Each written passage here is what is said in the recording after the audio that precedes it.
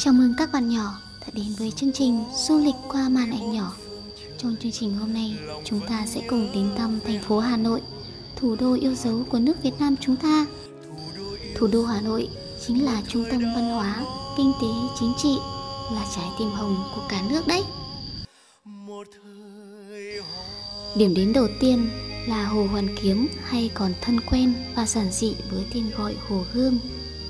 Hồ Gươm rộng có làn nước trong xanh được bao quanh bởi rất nhiều cây cối, tạo cho nơi đây không gian trong lành, thân thiện với thiên nhiên giữa hồ có tháp rùa được xây dựng từ lâu đời, là di tích lịch sử và điểm nhấn cho hồ gươm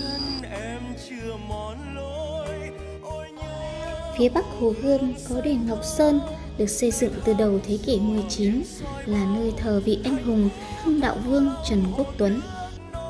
Điểm đến tiếp theo là chùa Một Cột, được xây dựng từ rất lâu đời. Chùa có hình dáng như một đóa sen đang nở, cột là cành hoa, các mái là cánh hoa. Chùa Một Cột giống như một đóa sen lớn vươn thẳng từ mặt hồ xanh dờn, có bồn hoa bao quanh.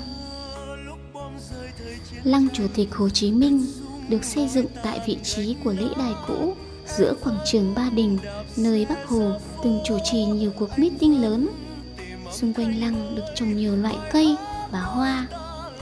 Lăng Chủ tịch Hồ Chí Minh thường có nhiều đoàn khách trong và ngoài nước đến thăm viếng. Ra, ở thủ đô Hà Nội còn có rất nhiều danh lam thắng cảnh khác như Văn Miếu Quốc Tử Giám,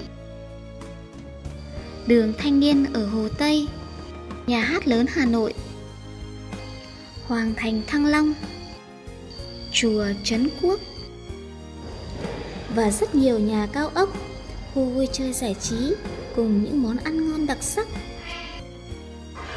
Thủ đô Hà Nội của chúng ta thật tuyệt phải không nào? Nếu có dịp, chúng mình hãy bảo bố mẹ cho ra thăm thủ đô Hà Nội nhé.